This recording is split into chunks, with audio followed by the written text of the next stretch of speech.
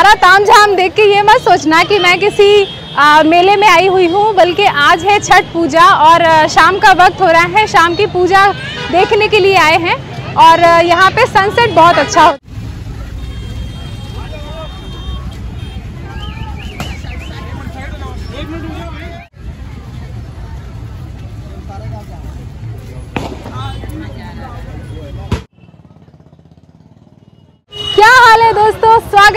सभी का एक और नए ब्लॉग में।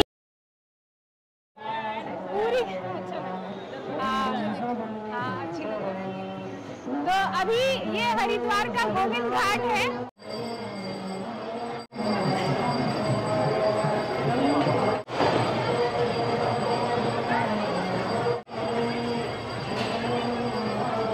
आज शाम के वक्त जब घाट पे आई हूँ तो काफ़ी ज़्यादा चहल पहल हो रही है। और मेरे पीछे मैं आपको दिखलाती हूँ कि कितने सारे लोग हैं यहाँ पे अभी जो कि अपनी शाम की जो पूजा है वो कर चुके हैं। मुझे सनसेट और सनराइज देखना दोनों बहुत पसंद है। मुझे बहुत गर्व होता है कि मैं एक ऐसे देश की वासी हूँ जहाँ पर इतनी विविधताएँ हैं। बोलचाल, उठना, बैठना, खाना, पीना, हमारे कल्चर कितने ज़्यादा डिफरेंट हैं। लेकिन हम सभी एक साथ मिलजुल के रहते हैं। हमारा देश एक सुंदर सी बगिया की तरह ही तो है, जहाँ पर अलग अलग तरीके के जैसे फूल होते हैं एक बगिया में। वहीं हमारे देश में कितनी सारी जाति, धर्म अलग अलग बोल चाल करने वाले लोग और फिर भी हम सभी एक साथ मिलजुल के रहते हैं, है ना? तो पीछे आपको दिख रहा है सनसेट हो गया है और अभी भी वो जो हल्की लालिमा होती है सनसेट की, वो कितनी प्यारी है घाट के पास। आप अच्छी तरीके से यहाँ से मैं दिखलाती हूँ आपको। कितनी अच्छी लालिमा है। और जब मैं कल सुबह आऊँगी यहाँ पे सनराइज के वक्त तो उस वक्त भी जो खूबसूरत व्यू है, वो देखने लायक होगा। ये है हरिद्वार का गोविंद घाट, जो कि मेरे घर के बहुत पास है। इनफैक्ट वॉकिंग डिस्टेंस पे है। तो अक्सर मैं यहाँ पे सुबह और शाम आया करती हूँ।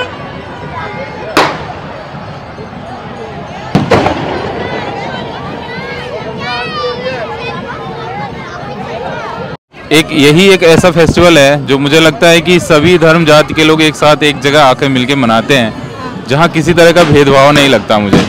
इकलौता ऐसा फेस्टिवल लगता है मुझे जो कि सभी लोग होते हैं छुआछूत भेदभाव कुछ भी नहीं। नहीं कुछ भी नहीं ऐसा होता तो मुझे लगता है कि इस इस पर्व को पूरा परिवार मिलकर मनाता है और यहाँ पे आपको फैमिलियर यूनिटी भी देखने को मिलेगी कि पेरेंट्स भी हैं और बच्चों के दादा दादी भी हैं और सभी लोग मिलकर मना रहे हैं। की पूजा के बारे में शाम की पूजा डूबते हुए सूर्य को अर्घ देते हैं उनकी उपासना होती है और यही मैं ये भी कहना चाहूँगा कि यही एक फेस्टिवल है इसमें उगते हुए सूर्य की भी आराधना होती है और डूबते हुए सूर्य की भी आराधना होती है। तो आज तो शाम का अर्घ दे रहे हैं लोग और कल सुबह की? अर्घ होगी।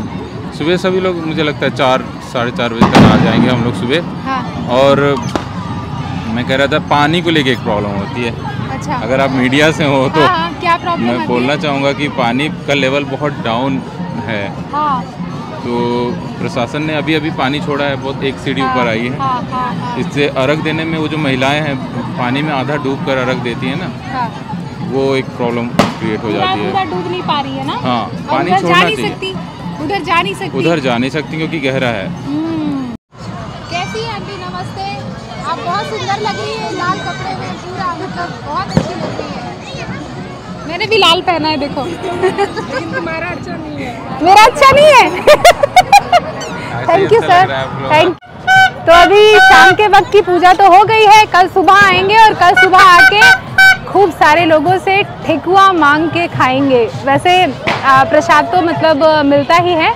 और जो ठेकुआ होता है, उसकी बात ही कुछ और है। मैं तो जब अपने ऑफ़िस में थी तो लोगों से बोल बोल के रखती थी कि जब आपका ये छठ होगा तो मेरे लिए ठेकुआ लेके ज़रूर आना।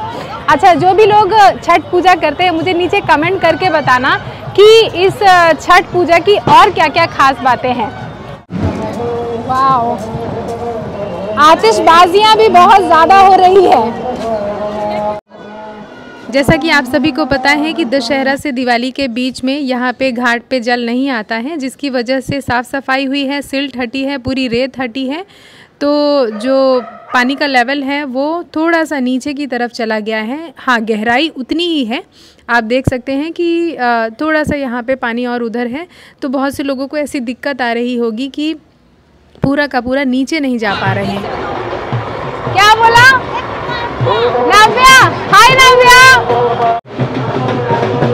फेस्टिवल्स में ढोल और नगाड़े ना हो तो उसमें फेस्टिवल की बात ही कम हो जाती है, नहीं?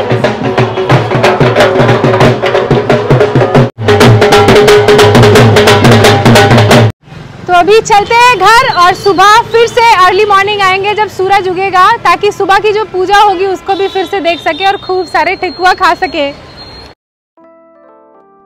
अब मेरा रूटीन ऐसा सेट हो गया है कि मेरी आँख अपने आप साढ़े चार, पाँच बजे खुली ही जाती है तो अब चलते हैं सनराइज़ देखने। सुबह सुबह घाट पर इतनी ज़्यादा चहल पहल देख के क्या आपको ऐसा यकीन होता है कि सुबह के पाँच बजे होंगे अभी? नहीं ना। मुझे भी ऐसा यकीन नहीं हुआ जब मैं यहाँ पे आई। इतनी सारी आतिशबाजियाँ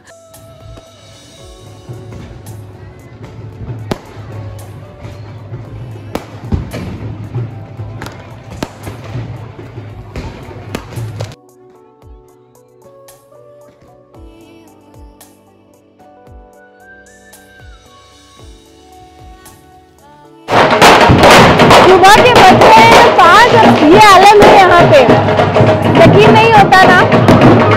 इतनी ज़्यादा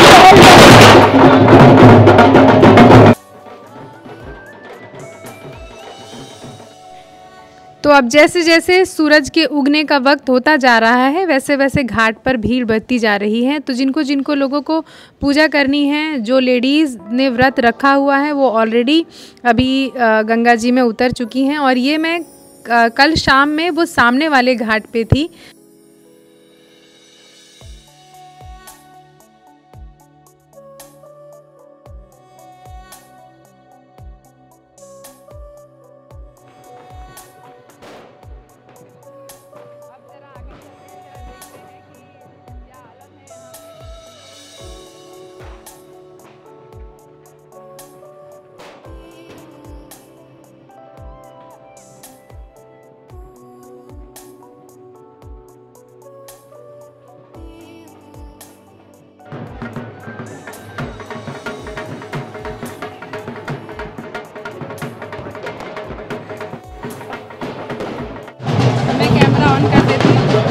पूजा का पर्व जो है ना?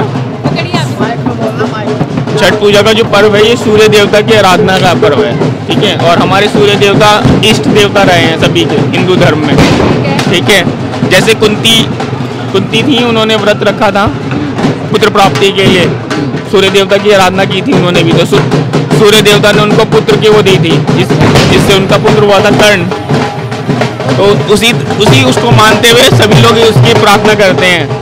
और पुत्र प्राप्ति के लिए और पति की दीर्घायु वगैरह के लिए ये व्रत रखा जाता है। हाँ पूरी फैमिली के लिए रखा जाता है। जैसे सूर्य देवता उगेंगे ना अब फल से और उससे ना अर्घ उनकी आरती उतारी जाएगी। गंगा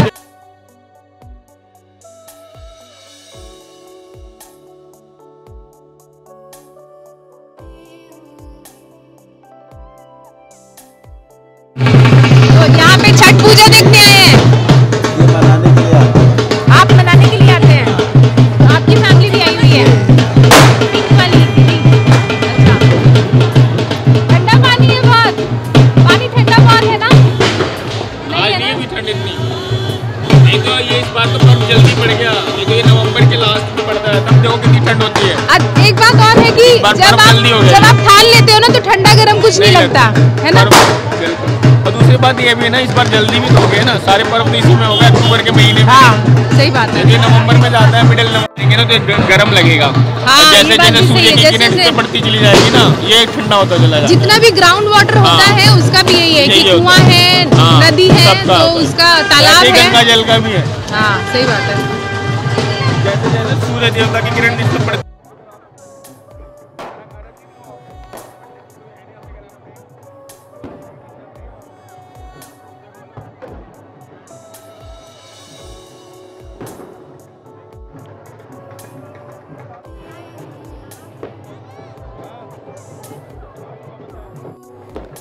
अब सनराइज़ ऑलमोस्ट हो गया है और आप देख रहे हैं कि सामने वाले घाट पर भी चहल पहल काफ़ी अधिक बढ़ गई है। और मुझे भी बहुत ज़्यादा अच्छा लग रहा है कि इस तरीके का, वैसे एक्सपीरियंस तो मैंने छठ पूजा का एक्सपीरियंस अपने घर मध्य प्रदेश में भी किया था, लेकिन हर जगह मनाते तो हैं अलग अलग तरीके से, लेकिन कुछ ना कुछ डिफरेंसेस ज़रूर होते हैं। मैंने देखा है बहुत जगह तो पानी की बहुत कमी होने, होती है तो लोग ऐसा कुछ इंतज़ाम कर लेते हैं, कुछ गड्ढा वगैरह बना लेते हैं, या कि फिर कुछ बड़े स्विमिंग पूल वगैरह को ही छठ पूजा के लिए इस्तेमाल करते हैं। अब लेकिन यहाँ इस वाले जल की खास बात ये है कि एक तो ये गंगा जल है और दूसरी बात ये है कि ये इतना ज़्यादा ठंडा होगा अभी, यकीन मानिए काफ़ी ज़्यादा टेम्परेचर है, लेकिन सुबह सुबह थोड़ा सा मैनेजेबल होगा। तो अब सूरज उग गया है और अब ये पूजा जो है वो उसकी शुरुआत कर दी गई है। हर जगह लोग ऐसे गोल गोल घूम कर और जो घर के पुरुष हैं वो भी काफ़ी ज़्यादा। इस वाले व्रत में मैंने ये देखा है कि घर के सारे के सारे सदस्य किसी न किसी तरीके से अपना कंट्रीब्यूशन करते हैं तो एक तरीके से पूरे परिवार को जोड़ने वाला ही काम करता है। तो हमारे अच्छा एक बात और, अगर आपने नोटिस की हो, मुझे तो ऐसा लगता है कि जितने भी तिथ त्यौहार आते हैं सेलिब्रेशंस आते हैं, वो रिश्तों को और मज़बूत बना देते हैं। अगर किसी से कोई कहा सुनी हुई है, किसी ने कोई एक दूसरे से बात नहीं कर रहे हैं तो हमेशा यही होता है कि त्योहारों में लोग एक दूसरे के करीब आ ही जाते हैं और मैंने छठ पूजा में ऐसा देखा है कि पूरा परिवार एक साथ मिल के इस पर्व को मनाते हैं, महापर्व को मनाते हैं। सभी लोगों ने जो कुछ भी मन्नतें मांगी होंगी यहाँ पे अपने अपने हिसाब से, उन सभी की मन्नतें पूरी हों, मैं दुआ करूँगी। जितनी भी तपस्या की है, ये तपस्या ही है। मैं ये कहूँगी कि ये तपस्या ही है। तो जिन लोगों ने जो तपस्या की है, मन्नतें मांगी हैं, सच्चे दिल से मन्नतें मांगी, सबकी दुआएँ, सबकी मुरादें ऊपर वाला कबूल करे। इस पूरे संसार में मनुष्य जीव जंतु सभी बहुत ज़्यादा खुश हों। मेरी तो यही दुआ होती है हमेशा। आंटी, आपसे थोड़ी बात करनी है।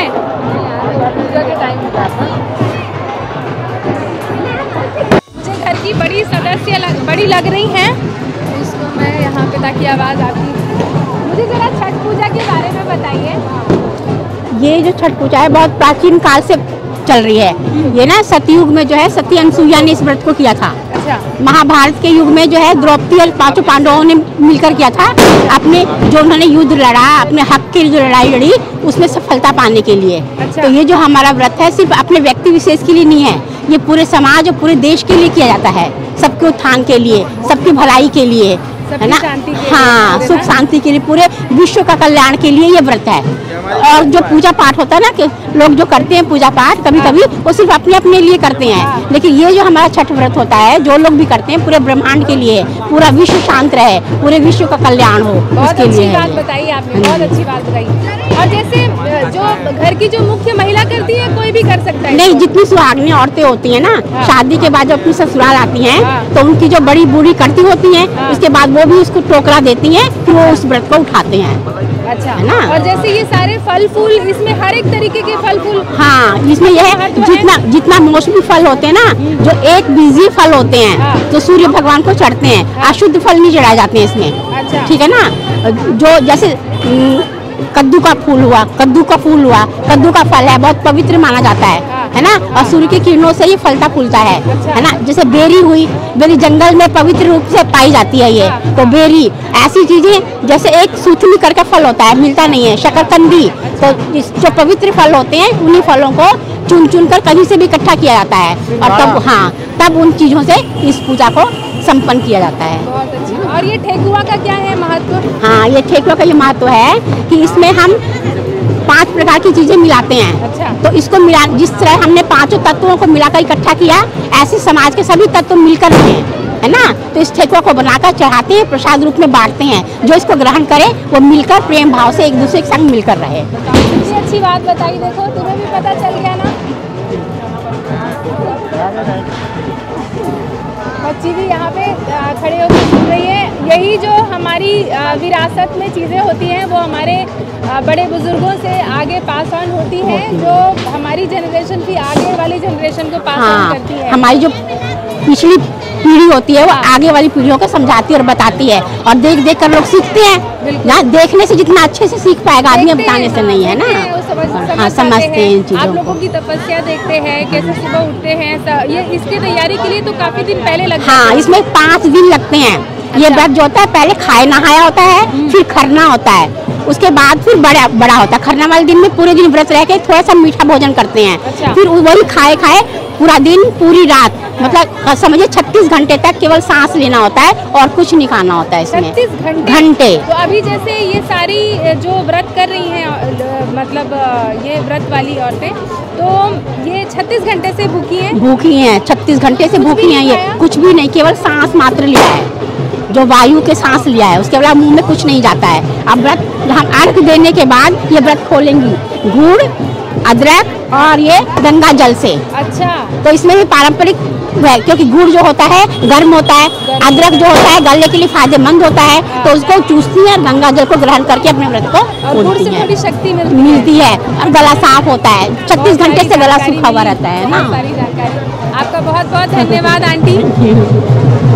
करना आपने देखा आंटी ने कितनी अच्छी तरीके से मुझे ऐसा पता चल गया था कि ये घर की कोई बड़ी स, बड़ी महिला ही है जिनसे बात करके आपको पूरी की पूरी जानकारी मिल सकती है। तो मैंने उन्हीं से डायरेक्टली पूछ लिया और उन्होंने बहुत अच्छी तरीके से सारी की सारी जानकारी दी। आपका क्या कहना है इस बारे में?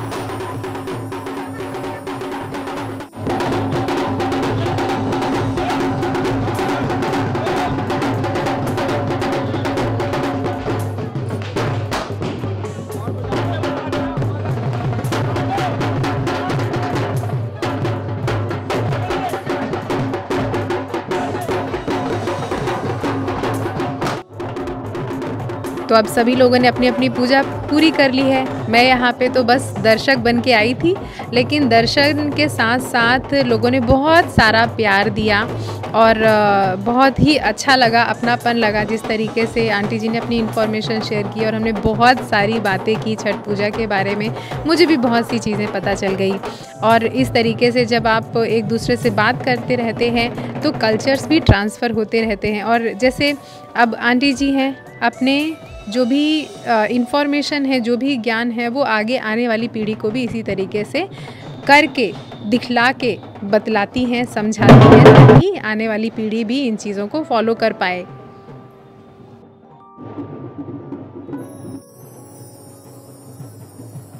मेरा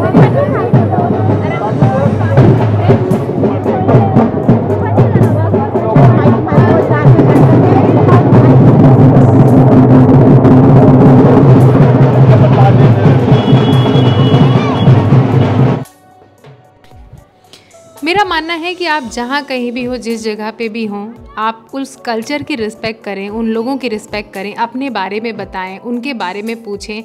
इसी तरीके से समझदारी एक दूसरे के प्रति बढ़ सकती है। आशा करती हूँ, आज का मेरा ये ब्लॉग आपको बहुत पसंद आया होगा।